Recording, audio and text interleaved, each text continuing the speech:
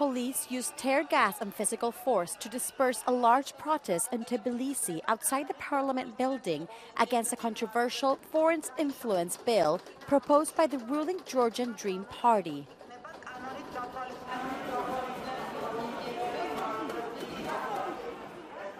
Several protesters were detained.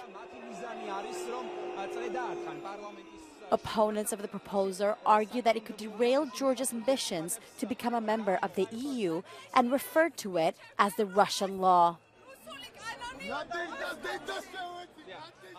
არა რუსულ კანონს ისევ და ისევ ძალიან სამწუხაროა რომ იმის ნაცვლად რომ ახალგაზრდები ქმნიდნენ თავის მომავალს სწავლობდნენ მუშაობდნენ ერთობოდნენ ყოველ წელს ვიწევს ძალიან ბევრჯერ აქ დგომა და ძალიან დიდი დროის დაკარგვა აქ დგომაში მაგრამ არასდროს არ ყოფილა ეს დრო დაკარგული იმიტომ რომ შედეგი ყოველთვის აისახებოდა საქართველოსზე დღემდე მოვედით სწორედ ამ სულისკვეთებით ისტორიის მანძილზე საქართველოს ყოველთვის იყო ძალიან ნათელი ევროპული ოჯახის წევრი.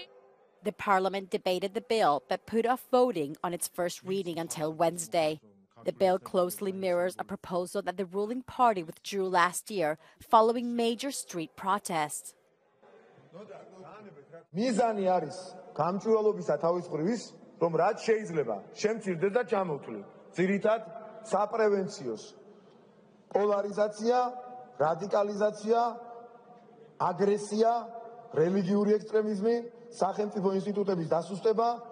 არატრადიციული ცხოვრების წესის თუ პარტიების რადიკალურ რევოლუციური მიზნების დაფინანსება.